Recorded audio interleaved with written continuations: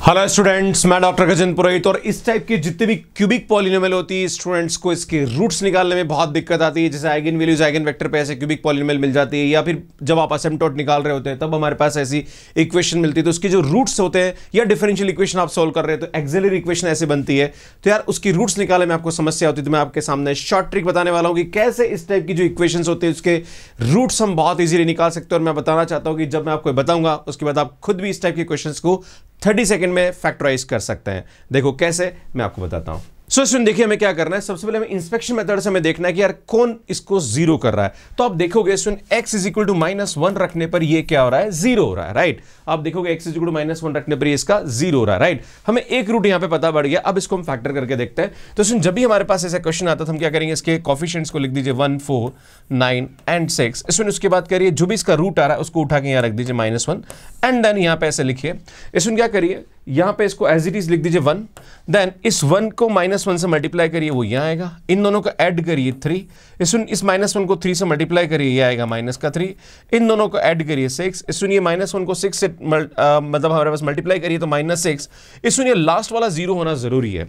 तभी हमारे पास ये फैक्टर प्रॉपर होंगे। क्लियर है? अब हमारे पास ये आएगा अब देखो, ये इसका एक वैल्यू था एक्स इक्वल माइनस वन तो माइनस वन इधर आएगा। तो हमारे पास एक जो वैल्यू आएगी, वो तो एक्स प्लस वन आएगा। एंड यहाँ पे इसको आप देखिए कैसे करेंगे? सुन ये हमारे पास एक्स स्क्वायर का कोफिशियंट होगा, ये हमारे पास एक्स का कोफिशियंट होगा, और ये हमारे पास कांस्टेंट हम होगी। सुन ये इसका क्या होता है? फैक्टर होता है राइट अब बाकी तो आप इसको ज़ीरो करके आराम से इसके फैक्टर को इजीली निकाल सकते हैं राइट पर मैन जो फैक्टराइजेशन होता है, वो कैसे किया जाता है, वो मैंने आपको यहाँ पे बताया। एक और एग्जांपल देखते हैं, आपको समझ में आएगा। जैसे हमारे पास ये क्वेश्चन दे रखा है, आप देखेंगे इसमें x is equal to one पे ये ज़ीरो कर रहा है। देखो आप, x is equal to one रखने पर ये पूरा ज़ीरो हो रहा है। देखो, x is equal to one इसका एक रूट हो गया। अब हम क्या करेंगे इसमें one three minus one and minus three इसके कॉफिशियंट्स को लिख देंगे।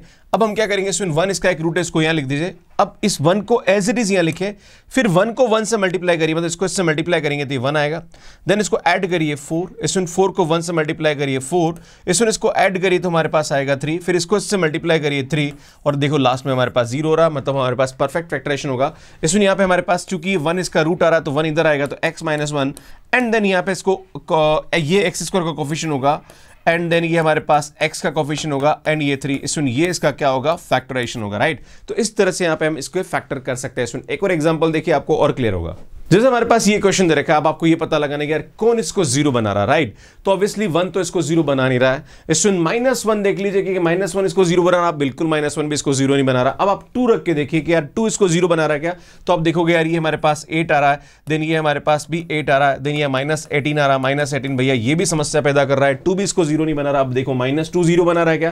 तो यार माइनस टू देख के देखेंगे तो माइनस का एट आ रहा देन ये हमारे पास प्लस का एट आ रहा, देन ये हमारे पास करेंगे तो प्लस का एटीन आ रहा, एन माइनस एटीन आ रहा, भैया ये इसको ज़ीरो बना रहा मतलब x is equal to minus two इसको क्या कर रहा है, ज़ीरो बना रहा मतलब ये इसका एक क्या हो जाएगा फैक्टर हो जाएगा। अब आपको क्या करना है, इसमें जैसे आपने ये पता करा, उसके बाद हम क्या करेंगे one two nine and minus का एटीन, ये लिख दीजिए आप। देन स्टूडेंट हमें क्या करना है? यहाँ पे हमारे पास ये जो एक्स इज़ इक्वल जो माइनस टू आ रहा है, उसको उठा के रख दीजिए। देन वन को एज इट इज़ रखिए। अब इसको इससे मल्टीप्लाई करिए। सुनिए माइनस टू आएगा। अब इसको आप ऐड करेंगे तो ये हमारे पास ज़ीरो आएगा। इसमें माइनस टू को ज़ीरो से मल्टीप्लाई करेंगे तो ज़ीरो इसमें आएगा माइनस का नाइन माइनस नाइन को माइनस टू से मल्टीप्लाई करिए तो प्लस का एटीन ये ज़ीरो आ जाएगा राइट तो हमारे पास जो फैक्टर होगा, चूँकि माइनस से इधर जाएगा तो प्लस टू हो जाएगा। इसमें जो फ़र्स्ट होता है, वो एक्स स्क्वायर का कॉफिशियंट होता है।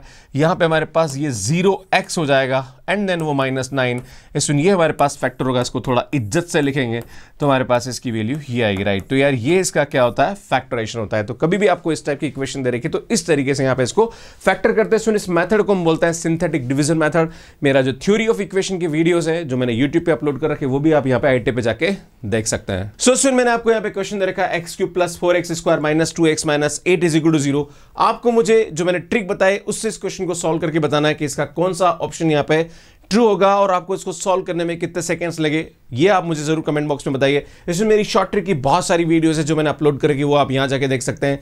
मैंने जो गेट सेसा नेट और जेम इन सभी एग्ज़ाम की अगर आप तैयारी करें तो काफ़ी अच्छा मैंने बता रखा है तो वो भी आप यहाँ पे जाके देख जाके देख सकते हैं। और इसमें यहाँ जाके मेरे चैनल को सब्सक्राइब कर सकते हैं और यहाँ जाके आप मुझे इंस्टाग्राम पे फॉलो कर सकते हैं। Thank you so much watching me like करिए शेयर करिए और चैनल को ज़रूर सब्सक्राइब करिए और इस क्वेश्चन का आंसर मुझे कमेंट बॉक्स में देना है। और आपको टाइम भी लिखना है कि इसको सॉल्व करने में आपको कितना सेकेंड्स लगा। धन्यवाद।